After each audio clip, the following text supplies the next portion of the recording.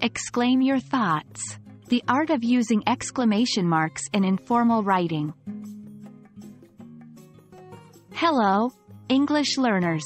Today, we're going to explore a powerful punctuation mark. The exclamation mark.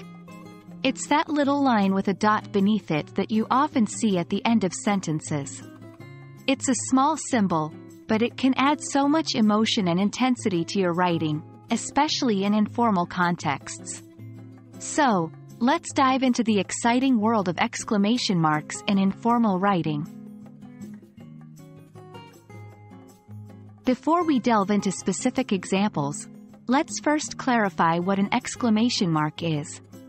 It's a punctuation mark that you can use at the end of a sentence to show strong emotion, surprise, or emphasis. It's a more dramatic punctuation mark compared to a period or a comma. But remember, using too many exclamation marks in formal writing might seem unprofessional or overly dramatic. So, where should we use them? That brings us to our next point. Informal writing.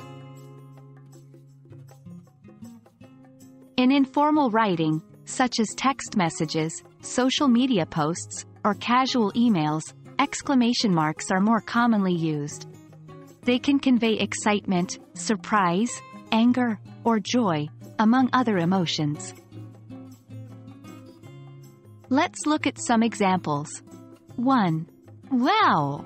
That's an amazing picture. The exclamation marks here express surprise and admiration. 2. Happy birthday, Jane.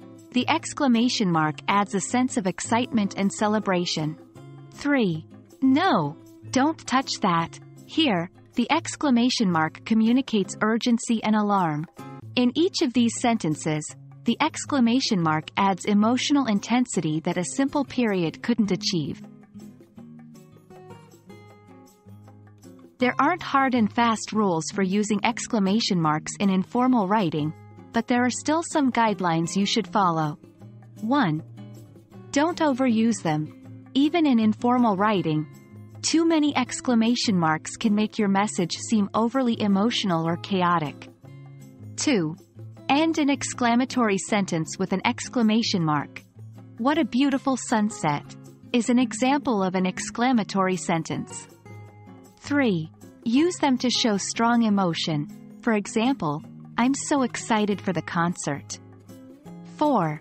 End imperative sentences with strong emotion with an exclamation mark. For example, watch out for the car. So, there you have it. A fun and informative guide to using exclamation marks in informal writing. We hope you now feel more confident about expressing your strong emotions, surprises, and exclamations in your casual texts, posts, or emails. Remember, writing is all about communication and connection, and punctuation marks like the exclamation mark are a fantastic tool to help you convey your tone and emotion. Stay tuned for our next video on punctuation marks. Happy writing, everyone!